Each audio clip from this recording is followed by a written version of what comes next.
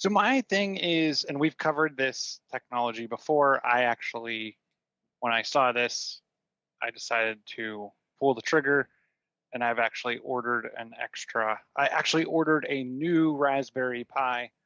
Um, I did some tests with this, and it was pretty darn cool. But I wanted to use the Raspberry Pi for something else. Um, so I actually ordered a new Raspberry Pi to replace my emulation system and then I'm going to use the old Raspberry Pi for this, but it's called Hoobs. Hoobs. I, I don't think Hoobs actually stands for anything. It's H O O B S. Came out with version four. And what Hoobs is for, if you have a bunch of non HomeKit compatible devices, there's a bunch of cool people out there that are obviously writing code for free, as well as many other um, companies writing to this platform and they're making it so you can integrate with um, HomeKit and make everything just work magically together. This is super nice if you got into the um, home automation tech early, or you know, there's certain companies, Google, um, that are never going to necessarily make their stuff 100% HomeKit friendly. Mm-hmm, mm-hmm. This will take all your old Nest devices um, or old kind of cameras that maybe you have to use the proprietary app. I haven't tried I haven't tried this. I didn't have any Wyze cameras back then. To see if this works with Wyze too. And it brings them into HomeKit. So if you think about that, right, you can now have kind of a multi-up display with all of your cameras and make mm-hmm. it all look super cool like you're sitting at the helm of your command center keeping tabs on everything that goes on around the house from temperature to which lights are on to this is your Tesla charging um, there's numerous plugins there, and they just they just keep growing. Um, I think was it thousands? Really? I read it correct. Yeah, I want to say like really? they they had, there's like thousands. I want to say it was 2,300, but um, of plugins, and it kind of acts as a turnkey um, bridge experience. One of the cool things for this is you have a multitude of options um, of how you want to get your Hoobs on. Um, you can buy a Hoobs device right from Hoobs, um, which I think right now they're running a special. You can get it for $199 instead of 200.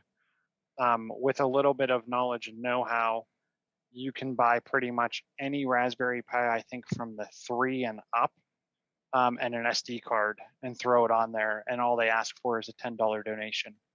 Um, so um, price may vary. If you want something 110% turnkey and out of the box, mm-hmm. um, you can buy theirs, or for less than half the price, you can kind of build your own. Um, they do re- recommend plugging in Ethernet into the house, but the cool thing is then you can now you can plug this into your TV and kind of have an always up display. You can get to it from any browser. There's actually a Windows app for this. So if you're Apple iOS at home, but then Windows on all your machines, this will get your Windows computers in the, the realm of possibility for HomeKit. Um, super, super cool. And they just keep churning out the updates. So that's awesome. highly recommended. That's awesome. So, so it's just a general kind of bridging of your system, right?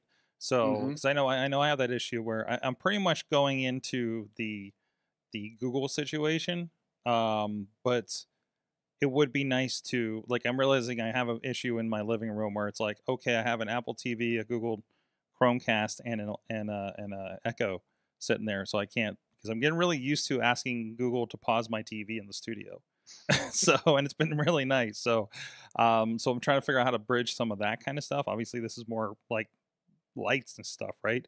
Uh and Wyze cameras, but still so, but no, anything that helps, you know, that along, or even I guess, you know, resurrect. Like I have a Sylvania smart bulb that I can never get working, right? Like, would this help with those kinds of situations? It, it, it could, yeah, because this is going to be kind of the go between. Because I can see um, it and see what's going on with it, maybe a little more directly. Yep. Than the they, they, like I said, they do have they do have eh, one thing that you're not going to be able to do that you could do from at least Mac right now, right? They have the Home app for Mac. Now you're mm-hmm. going to be able to get this on Windows um, just pretty darn cool. Awesome. awesome. So that that that that would be nice to bring, uh, like say like like Missy's a, a PC user uh, exclusively, so like to bring her kind of into the ecosystem, and and, and not just on her phone, right? So right. like that could that could be helpful.